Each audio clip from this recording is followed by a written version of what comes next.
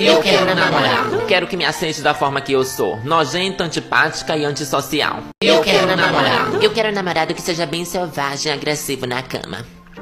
Porém, nas horas certas ele me respeite, porque tudo tem limite. Eu quero um namorado. Eu tô que eu não tô exigindo demais, sabe? Pode ser homem, pode ser mulher. Eu quero um namorado. Que quebre meu pescoço que nem uma galinha.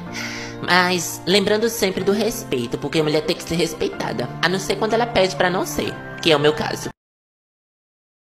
Quero um namorado. Quero um namorado que saiba que eu sou bonita assim quando estou arrumada, mas eu acordo dessa forma aqui, ó. Você vai me ver assim todo dia, toda pintada de cruz na testa, parecendo Annabelle. Eu quero um namorado. Não precisa ser sarado, não precisa ser gostoso. Pode ser um gordinho, tá? Porque gordinhos fazem legal, gordinhos comem, gordinhos não nos trazem.